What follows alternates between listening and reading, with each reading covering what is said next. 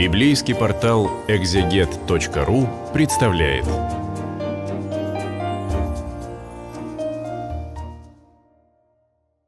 Здравствуйте, дорогие друзья! Мы продолжаем с вами изучать послание апостола Павла к фессалоникийцам и делаем небольшие комментарии для библейского портала «Экзегет». Сегодня мы с вами обратимся к первой главе. Напоминаю, что апостол Павел пишет свои послания по определенному формуляру. И сегодня в первой главе мы столкнемся с его первой частью, так называемым прескриптом. Когда мы с вами пишем письма, а сейчас это стало все более э, экзотичным занятием, мы обязательно пишем кому, куда и так далее. Вот э, прескрипт послания включает в себя, во-первых, кто и кому отправляет это послание или это письмо. Первый стих первой главы. Павел и Силуан и Тимофей, церкви Фессалоникийской, в Боге Отце и Господе Иисусе Христе.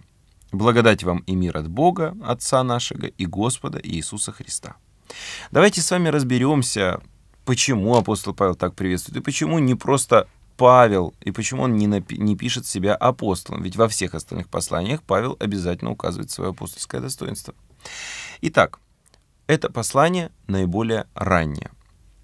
И мы знаем с вами, что апостол Павел оставил в Фессалониках для того, чтобы э, утверждалась Церковь Божия, э, силу или Силуана и Тимофея. Э, поэтому фессалоникийцам он, эти имена очень знакомы. Более того, нужно отметить, текст послания — это некая общая мысль Церкви. А общая мысль Церкви не может выражаться в лице одного апостола Павла. Конечно, по факту автором этого послания является апостол Павел, но Силуан и Тимофей находятся в едином духе с апостолом Павлом, в единой мысли с апостолом Павлом, и как раз-таки это подчеркивается данным стихом. Дальше. Церкви Фессалоникийской в Боге Отце и Господе Иисусе Христе. Итак, церкви бывали очень разными. Церковь или экклесия по-гречески могла быть экклесия любителей э, кораблестроения, экклесия любителей порядка в городе и так далее и тому подобное. А, а вот церкви в Боге Отце и Господе Иисусе Христе — это некая некий символ веры. Это некий маркер того, что это отправляется не просто небольшому объединению людей по интересам, а отправляется церкви как части тела Господа Иисуса Христа, которые верят в Бога Отца, но в Бога Отца верят и иудеи, и Господа Иисуса Христа. Если мы с вами вспомним, что Христос — это не фамилия Иисуса, а это по-еврейски Мессия или Машиах, то мы с вами понимаем, если я верую в Бога Отца и признаю Господом, Господином, Иисуса еще и Христом, то есть Мессией, посланником Божиим, то значит я в Церкви Христовой. По крайней мере, тогда Никея Царегородского символа веры, который мы используем сегодня с вами в богослужении и в наших келейных правилах, не существовало. И нужно было как-то понять, о какой церкви идет речь. Дальше апостол Павел предлагает своим слушателям следующее приветствие. «Благодать вам и мир от Бога Отца нашего и Господа Иисуса Христа». В его общине есть как иудеи, иудео-христиане, так и языко-христиане. А язычники привыкли в некой таком стиле эпистолярном римском приветствовать друг друга словом «радуйся». На латинском это звучит как «сальве», а на греческом это звучит как «хере». А благодать — «харин». То есть апостол Павел использует похожее слово «благодать». Но здесь радуйся просто, а здесь он им желает даров Божьих, благоволения Божие. Благодать по-разному, конечно, воспринимается на страницах Священного Писания. И мир. А что такое мир? А, евреи друг друга приветствуют. Шалом, шалом алейхам. Арабы приветствуют друг друга тоже этим древним приветствием. Салам алейкум. Шалом или некий такой достаточно грубый перевод на греческий язык ирини, мир преподается. То, что ожидает каждый покоя, мира в Боге. Это нечто большее, нежели мирность. Это нечто постоянное. И кто же может дать благодать и мир? Бог Отец и Господь наш Иисус Христос. Конечно же, только от Бога исходит истинный, подлинный покой – истинная и подлинная благодать. Далее апостол Павел начинает молитву. Ну а какое дело можно начать без молитвы? Всегда благодарим Бога за всех вас, вспоминая в, о вас в молитвах наших, непрестанно памятуя ваше дело веры и труд любви, и терпение упования на Господа нашего Иисуса Христа пред Богом и Отцом нашим, зная избрание ваше, возлюбленные Богом братья.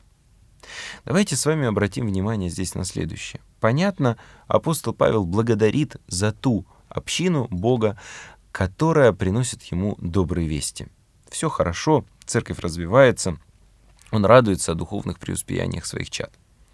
Но вот здесь удивительная вещь. Апостол Павел благодарит Бога, памятуя дело веры, труд любви, терпение, упования. Здесь, наверное, э, легче использовать более адекватное прочтение нетерпение, упование, терпение в надежде. Но дело веры, ведь мы с вами воспринимаем веру как чувство. Как может быть делом вера? На самом деле а, это перекликается со словами апостола Иакова в его послании, когда он говорит, апостол, о том, что вера без дел мертва есть. Вера без дел, она бесчувственная, неинтересная, она черно-белая. Труд любви. Наверняка каждому известно, что чувствами любовь не ограничивается. И если человек говорит тебе о своих чувствах, но за этим не стоит никакого дела, то его слова подвергаются сомнению, и они становятся противны слушающему. Поэтому дело веры и труд любви. Любовь — это труд. Это действительно длительное, ни на что не очень легкое служение. А вот терпение и упование, что это значит? Апостол Павел говорит о том, что есть добродетели среди христиан. Вера, надежда, любовь. Но любовь больше из всего этого. Так вот, действительно, вера — это фундамент, на котором мы основываем свои христианские добродетели. Любовь — это то наполнение жизни, которое позволяет нам быть подобным Богу, потому что Бог есть любовь. А вот надежда. Человек, живущий без надежды, очень быстро высыхает, очень быстро отчаивается. Но надежда в нашем понимании — это или упование. А надежда — это то, на что мы надеемся, но что может не случиться. В христианском понимании, в стилистике апостола Павла, надежда — это то, что точно случится. То есть надежда о воскресении мертвых — это уверенность в том, что это случится, но некое ревностное ожидание этого события, возможность его приблизить, возможность быть сопричастным этому событию. Но ну, а, пойдем дальше. Далее э, идет подчиненное предложение, потому что наше благовествование у вас было не в слове только, но в силе и в Святом Духе, и со многим удостоверением, как бы, как вы сами знаете, каковы были мы у вас, между вами. И вы сделались подражателями нам и Господу, приняв слово при многих скорбях с радостью Духа Святого, так что вы стали образцом для всех верующих Македонии и Ахаии. Итак, а благовествование апостола Павла и его спутников было не только в слове, но э, в силе и Святом Духе. Мы с вами вспоминаем слова из Евангелия о том, что Христос, когда проповедовал, Он как власть имеющий. Так говорят о нем слушатели. А его слово было сильным, его слово было укреплено Духом Святым. Э, нам с вами сложно это ассоциировать с чем-то в нашей обыденной жизни, потому что хотя и Святым Духом всякая душа оживится, но вот какое-то непосредственное действие Святого Духа в слове человеческом не всегда нами воспринимается или ощущается, мы это не всегда видим, мы не всегда можем это идентифицировать. Поэтому а, здесь апостол Павел говорит о собственном опыте. А, со многим удостоверением происходит это благовествование. По всей видимости, это были исцеления, это была действительно сила привлечения людей к этой проповеди. Ведь вообще христианство — это а, уникальное событие в человеческой истории, когда за небольшой промежуток времени а, вера Христова распространяется по лицу всех провинций Римской империи. И более того, она имеет большой вес и представляет даже некую опасность в глазах императора языческого и языческих жрецов. То есть а, небольшая, как казалось раньше этим людям, иудейская секта вдруг распространяется на лицо всей Римской империи. И верующие фессалоникийцы стали образцом, неким иконой для жителей Македонии и Ахаи. Ибо у, от вас пронеслось слово Господне не только в Македонии Ахаи, но и во всем месте. Во всяком месте прошла слава о вере вашей в Бога. Так что нам ни о чем не нужно рассказывать.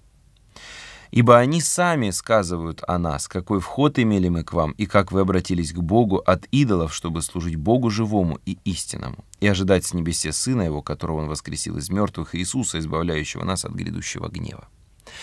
Здесь удивительная черта а, апостола Павла. Мы, наверное, а, в предыдущих видео уже говорили об этом. Павел использует э, большие города, столицы обычно э, каких-то областей, для того, чтобы проповедовать там. И оттуда весть о Христе начинает распространяться все дальше и дальше. Это удивительная и очень продуманная схема. Апостол Павел э, не заходит в слишком маленькие селения, потому что это затрата времени, затрата сил и в то же время опасность гонений еще больше. А вот если ты придешь в большой город, люди приехали на рынок, люди приехали там торговать, и узнав о Христе, они несут это в свои маленькие э, семьи, э, большие семьи, в свои села, в свои деревни. Они разносят это по лицу всей земли. И вот апостол Павел говорит, что куда бы он ни пришел, а он уже пишет это из Коринфа, люди знают о фессалоникийцах. Такой был славный город Фессалоники.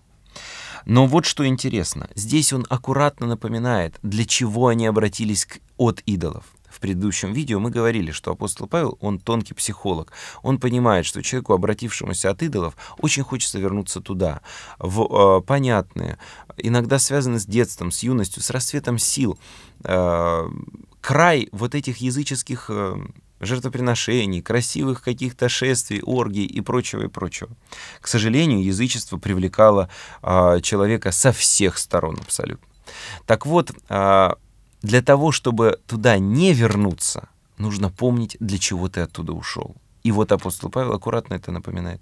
Он напоминает это как будто бы рассказывая о том, а как проповедуют, как им рассказывают те, кому они приходят снова и снова.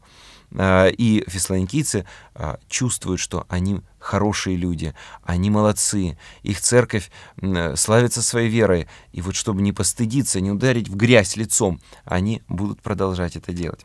Здесь нужно обратиться, э, обратить внимание на наших э, святых отцов-аскетов. Если я не ошибаюсь, то преподобный Ефрем Сирин говорил о том, что э, похвалить человека за ту добродетель, которую он еще не, умеет, не имеет, и он ее приобретет действительно, за что ты похвалил человека, то он с, большей, с большим усердием будет принимать. Апостол Павел напоминает им о нашей вере, о вере и ожидании грядущего Мессии, о ожидании второго пришествия. А о последующих темах, которые раскрыты в других главах послания к фессалоникийцам, мы с вами узнаем несколько позже в других видео для библейского портала «Экзегет». Спасибо всем вам за внимание и желаю всем нам духа премудрости, наставляющего нас на изучение священных текстов.